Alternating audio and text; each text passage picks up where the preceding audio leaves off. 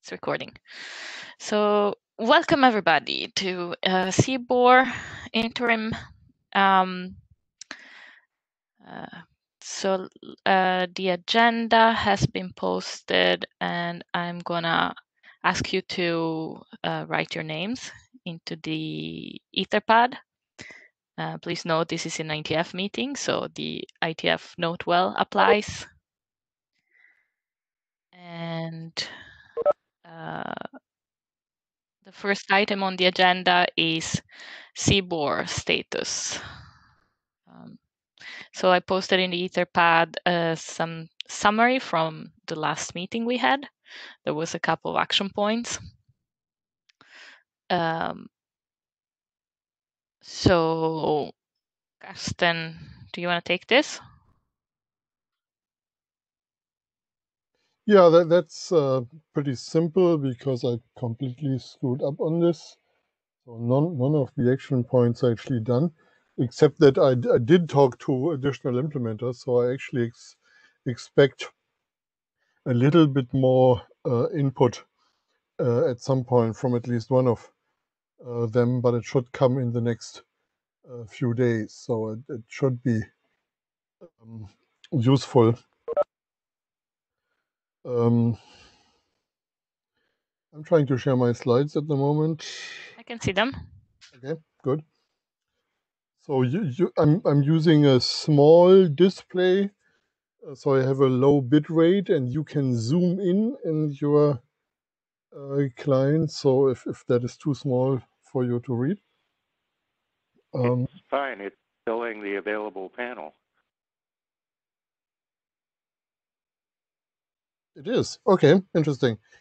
Um, I'm, I'm always amazed at how, how often this software actually changes, um, which is a good thing to a certain extent, but sometimes it isn't.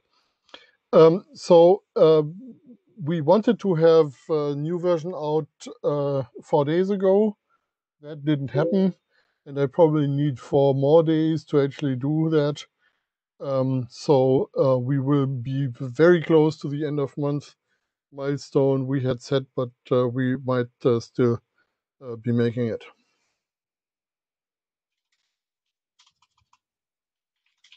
That's good. Um, so I haven't seen any uh, implementers review since last meeting. So it, uh, you said some more comments. Are these in the GitHub or? They, they will probably come in using GitHub, yes. Okay, okay. So I will keep track of that. Yeah, we had a small amount of discussion on, on the GitHub and agreed that 65,535 was exactly the tag number we want to have wanted to have for no tag. Um, in hindsight, that's completely obvious, uh, but it took us a while to get there. Okay. Um, good. Uh, so yeah, we're still uh, we're still up for this uh, timeline of end of the month for the next submission. Okay, so we're waiting on that before um, uh, we ship it or we see if anything else comes up. Mm, yes.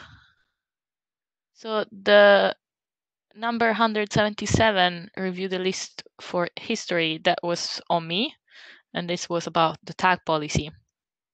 So I, I i have done that and there has been the discussion. I actually could not find um, uh, I, I kind of remember we discussed it this on a face to face as well, but I could not find minutes about that. We have too many minutes, so do you do you if anybody remembers when we dis- discussed uh, which IETF we discussed uh, tag policies um, that would be helpful? It was a while ago. Otherwise I, I will try to find it again. Yeah. Um, but yeah there was basically one thread that was um, um, mid of last year and or august and it was never really concluded. So there was some discussion, but it wasn't concluded. So we will get back to that. before um, submission or before yeah before end of the month. Sounds good. Yeah, if if there's a need for repair,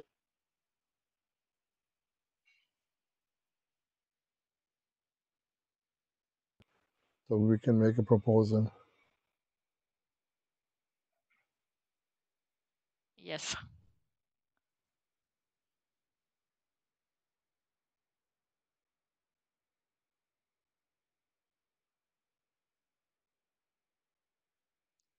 Okay.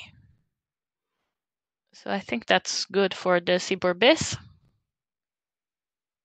And if there is nothing else, Mike, I can see that he's in the call. We can talk about the uh, um, date and time tag document. Hello. Thank you. Um, as those of you who've looked at it, the date and time tag document is very simple. It has an introduction and an IANA consideration section that registers now two tags, um, one for text string date and the other for uh, numeric date. Um, the numeric date is the one that was proposed by Jorg, um, and I've included him as an author. Um, this is, I think, good enough that the things could be registered. My question to the chairs here is, um, want to adopt this as a working group document and go quickly to working group last call to turn it into an RFC or uh, what is your sense on how we finish such documents so they become stable?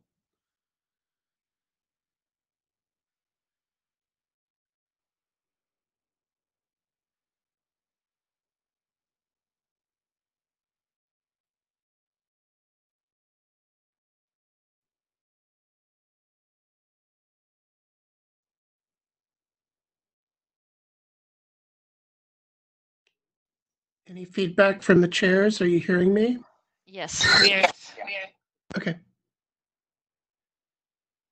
Jim. You want to take it or? Well, the problem is the answer is I don't really know what the answer is yet. Do you have one? Um, I I I think that would be a good um, good way good way forward, but um, And that's sort of a normal IETF thing to do. yeah. Yeah. And Carsten also wanted to say something. I don't know if he has more opinion, but I'd like to hear from more people. Yeah. Yeah, so I think that there are two parts to this question. Uh, one is um, what is actually the status we give these uh, documents? Is this an informational document? Is this uh, a standards track uh, document? Um, and uh, we have certain pockets in the IETF where where we have lots of documents that register something, and these are all informational, but then they are uh, being used uh, with normative intent in in other documents. So essentially, the, the IESG review for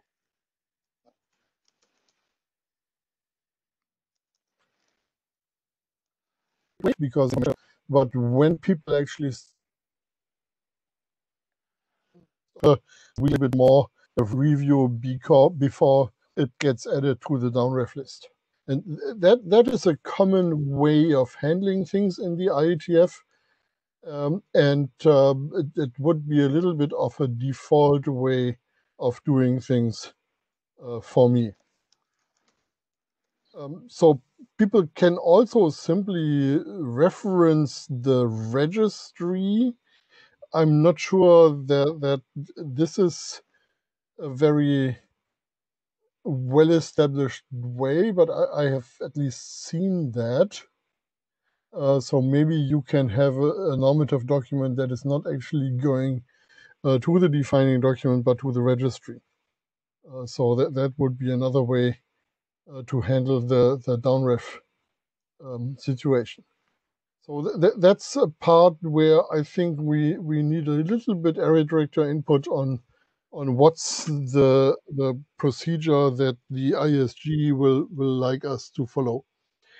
And um, on on the uh, number of documents that that we will get uh, this way, of course, that that could be quite a few. Um, so I continue to believe that maybe we should uh, do some consolidated um, documents. There are several tag definitions that are actually quite useful that currently only exist in, in some uh, random websites. And uh, we could do that in order to, uh, we, we could ta- take that input and consolidate it into a federal tags document or something like that um, in order to have an archival uh, document in one place. So that, that would be my proposal, what, what we should do once we are done with uh, CBORbis. So I understand that there's a lot of various tags that one could define and that may be defined in multiple places. And this working group could choose to do a consolidated document. In this case, this is motivated by a specific request from ISO for a fast track mobile driver's license piece of work. And I think we owe it to ISO both to finish this quickly and to make it an RFC. ISO and, you know, a lot of the national bodies uh, respect RFCs. They might not be so happy referencing something that's really just in a registry, but pointing to an unfinished draft. So for this document, I'd like to request that we do working group adoption. I'm fine if the area director wants it to be informational to make that change at the time it's adopted, but I don't want this to get hung up for a year in a process where we agglomerate many unrelated things. Yeah, so for, for me, that, that kind of uh,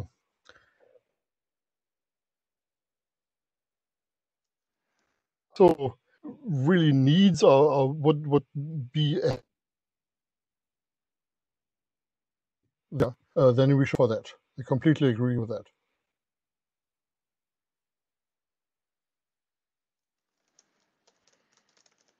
Could I get the chairs to send out a call for adoption to the list?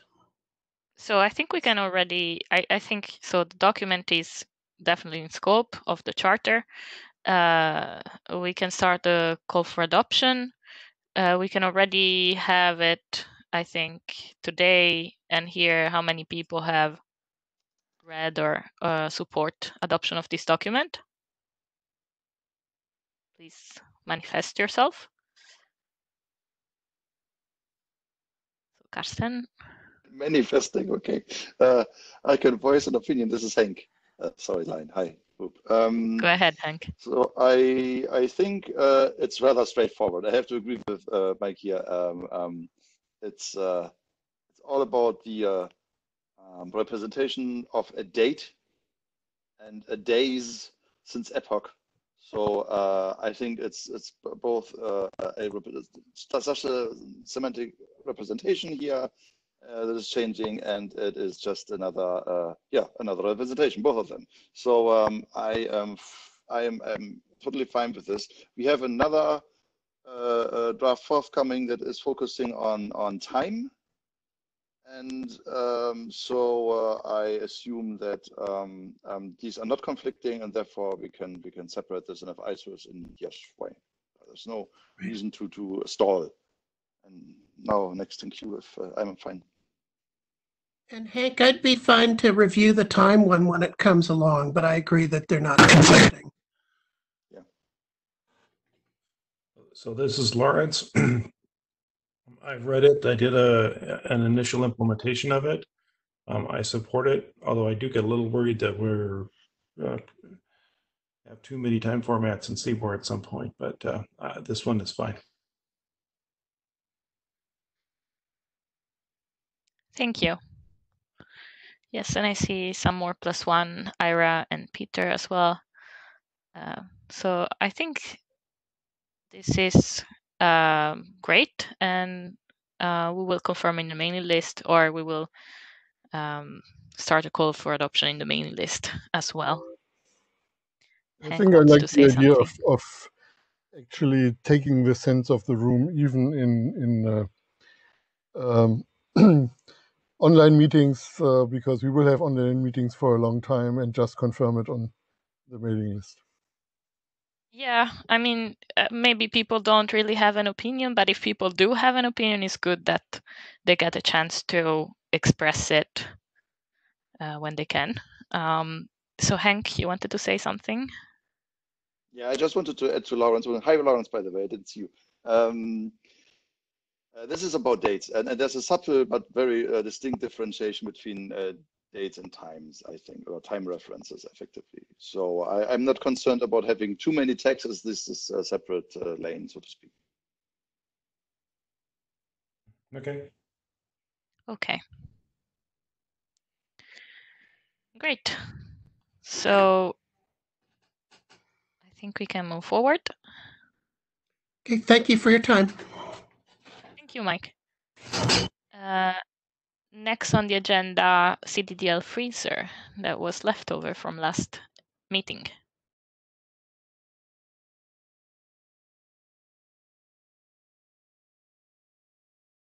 Carsten, go ahead. Do you see, see my slides? Yes. Okay. Um, so we have maintained more or less this this freezer document from discussions we had about uh, CDDL, um, and um, there are a number of things in there uh, that uh, we probably need to do sooner or later. Uh, so, for instance, one message on the mailing list reminded us that that we really need to think about file inclusion and and export and import interfaces uh, um, and so on, which which is also listed in the freezer uh, document. Uh, so we, we should go ahead and develop some some strawman how how we are going to do this. Um, there are a couple of things that actually could be taken out of the freezer document and uh, processed as extensions for CDDL, and one is this uh, .abnf uh, thing that, that has been around for a while, and I mentioned that two weeks ago. Um, so um, th- this is essentially the, the the whole proposal on one slide as an example. Um, so the idea would be that, uh, like we have control operators for doing regexps, uh, we might as well have control operators for uh, doing ABNF. Um, and since ABNF is uh, multi-line, this is uh, using a slightly ugly uh, hack, which is uh, using the byte string syntax instead of the, the text string syntax for the uh, ABNF. Um, yeah, uh, just because the byte string syntax uh, includes new lines and the text string syntax doesn't because it's inherited from JSON. Uh, so th- that is a little weird, but it saves us uh, uh, from actually having to change the CDDL uh, parser. So uh, what you see here is um, CDDL production in the middle of this slide, RFC 3339 equals. And this essentially means we are defining one string here um, that is containing the, the ABNF from RFC 339 that we're interested uh, in. So the, the example actually uh, would be used in context like, like Mike, uh, Mike's draft. So we have the definitions for date for year and, and all that. And um, actually, since this is also using material from RFC 5234, um, th- there is a separate uh, string uh, with that material, and we're using another control operator uh, which is currently called .cat, that, that might change, to concatenate uh, these two things. And then finally, in the place where this is used, uh, further up in, in the slide, where we have full date and, and date time, um, there, there is the name of a production uh, followed on a new line with the ABNF. So this is something that can be used with .abnf uh, to actually reference uh, this production. That, that's essentially my uh, proposal. There are a few little things that probably need to be ironed out. Uh, one is uh, ABNF is, is operating in an abstract space of characters, but we have to map this abstract space to something concrete that can be represented uh, in CBOR. So I'm proposing to have two variants. Uh, one where ABNF is used for describing uh, UTF-8 characters, and the other one where ABNF is used to describe bytes. So there would be something like an ABNF for, for UTF-8 and an ABNF for bytes. And then for, for .cat, we might want to use a slightly different con construct called .join, and I think we have to make a few examples uh, for that. So this is not completely done, and in particular, I haven't actually implemented uh, that yet.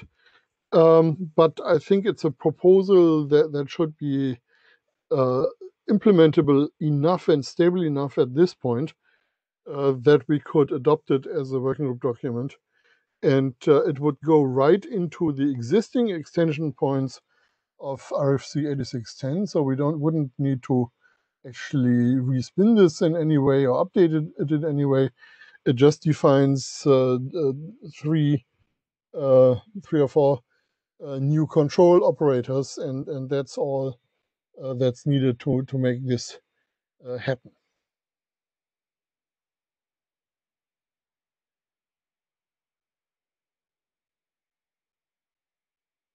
So my question would be uh, whether people think this is something we, we should be uh, pursuing. Um, of course, th that point of view will depend a lot on whether your the specification you are working on right now actually uses something that is already specified in ABNF or not. Um, uh, but for those that actually do, uh, this is a really useful uh, extension that, that saves you from having to re-encode ABNF in uh, regular expressions or something like that.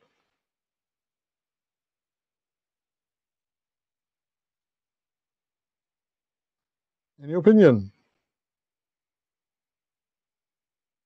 Uh, well, this is Hank. Um, you selected a single item from the freezer, which is fine because this is uh, basically um, yeah better tested, so to speak. Um, so question is, how do we uh, compartmentalize this? I assume. Uh, I my my my suspicion is that there might be uh, more than the uh, uh, ABNF control or the, the corresponding BF controls effectively um, that we could do in the first chunk. So my my question would be: uh, Are there other things that are in high demand, so we have to do it, or that we want to uh, stack into the first uh, control point extension draft? So this is uh, kind of related to uh, what the chair said started and, and Carsten working on um, when we did that questionnaire and we and I mm. went around and asked people, I don't know if you remember, what was that IETF 105 maybe? Um, and now that got uh, kind of on the back burner. But yeah, the question would be how um, urgent this is compared to the rest of the um, items on that list. And um, does it make sense to to just do it right now separately from everything else?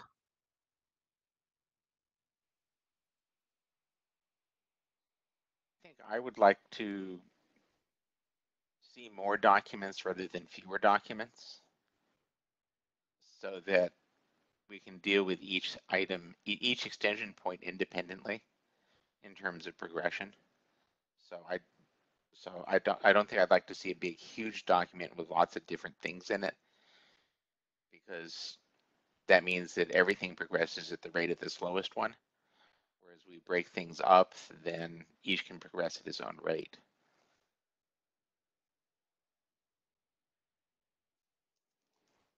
That makes sense, but there is also the um, um, the fact that the author might be the same for several of those. Um, so it's not parallel. I, I don't know. It can be parallel working, sure, but um, time is limited, so there will be some prioritization to be done anyway.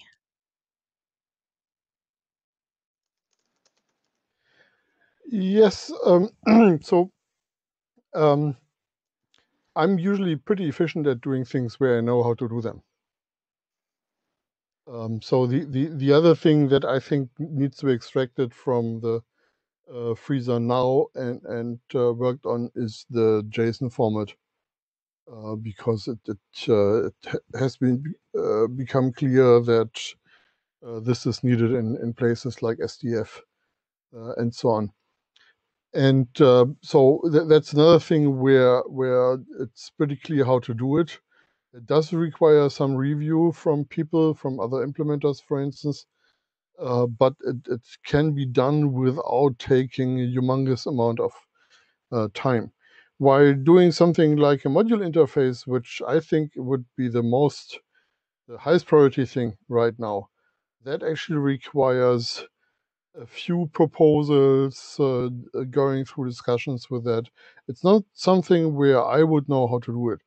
And um, I uh, don't think we need to wait for all the highest priority things to be done before we can uh, finish some of the the more more uh, targeted uh, use lower priority things.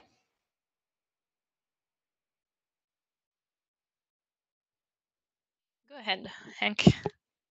Yeah, uh, just try to. Uh, we are the small group here, so maybe I, we don't need the queue. But um, from the top of my head, I would assume that it makes sense. And uh, Carsten, please uh, tell me if you do not think this, but I've, I'm pretty sure this is okay to bundle controls in a because they're using the extension point for CDA uh, controls into a single draft, and then, for example, have the uh, uh, JSON representation of CDDL in a separate document. Uh, just picking out uh, two obvious uh, sides of the coin, I assume. That Makes sense to me. Yeah, I would like to have that. So what what other controls do we have in in a ready to use shape?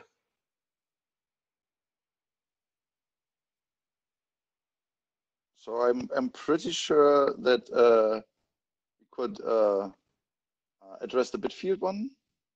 Okay. I assume. Also, uh, I, I think it's it's uh, very intuitive.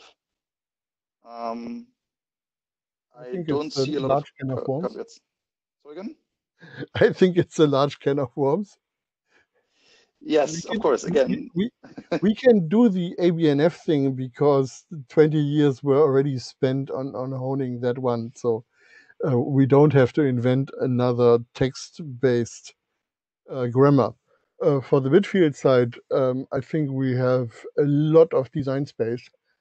Uh, so I expect a lot of discussions before that gets finished. or you want to separate ABNF uh, because ABNF was not a uh, ABNF controls. Okay. So if if you are, um, I was choosing JSON as an example because that was not a control, and that is a, a relatively well scoped uh, problem statement. Um, yeah, we can we can always start the draft. I think with all the controls, uh, see what progresses well, and then make a cut. Sorry for the pun to uh, stop there and then uh, put the rest into the next document and finalize the things we think are progressing well enough. So just working on it and unfreeze it basically is the, the thing I would like to do because I'm waiting. So meanwhile, I think a more fleshed out cuts concept really would help and Yes. uh, so that is uh, freezed for way too long now, I think. So unfreezing would be my first priority, then grouping basically into controls and non-controls, and then progress these until we uh, uh, realize, okay, these controls are actually really complicated, and then we stage uh, stagger them into uh, two drafts, uh, the accomplishable ones after I they say a quarter or six months or something, and then uh, go with the rest. Yeah, one procedure of, of doing this would be to keep all control proposals, control operator proposals in one document at this point, and then at some point decide these are the ones that we will ship in 2020, and uh, then we keep we, we split it up and keep a document for things that we will ship in 2021 and later, and so on. Yeah, So I think that that might work. Okay. I would also um, um, support my proposal. That's fine. I think that's good.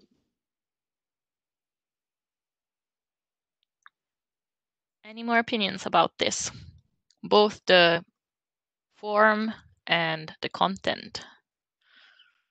Form meaning um, one document, several documents, etc.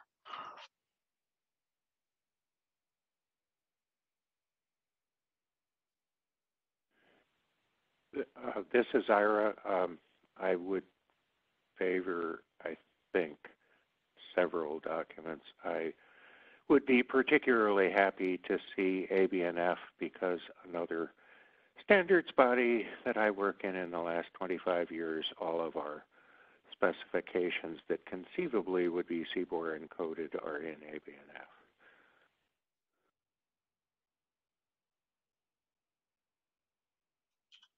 Okay, thank you. Um, yes, Carsten, I, I would say go ahead and uh, submit a draft then that people um, can start commenting on. And ultimately, it's up to you as author, uh, while the document is still individual, to decide what you feel like, what you think makes more most sense to have in there. Um, and this is obviously uh, in CBOR Charter. So we can possibly rediscuss that uh, when it gets adopted. Right. But yeah, uh, probably the more focus it is, the easiest it would be to move it forward quicker. I mean, that seems logical.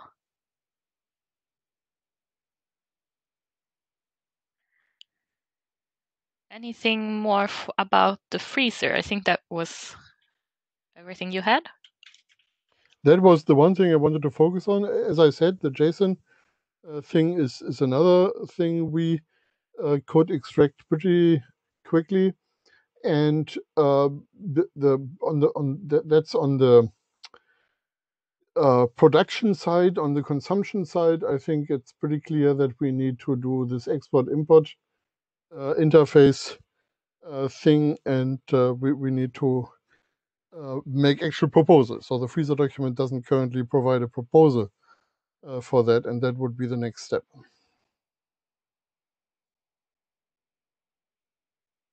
Okay. Great. Uh, next, I think that was all we had on the agenda for today. If there is any other business need to discuss.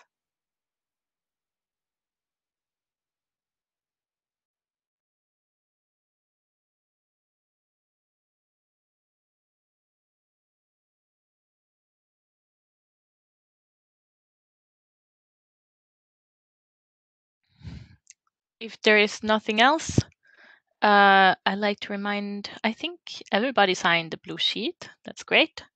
Uh, also, we have these, uh, I, I see a lot of people that are joining either for the first or second time. And we have these um, interims every two weeks. So you're very welcome to join. And um, I think that's it for today.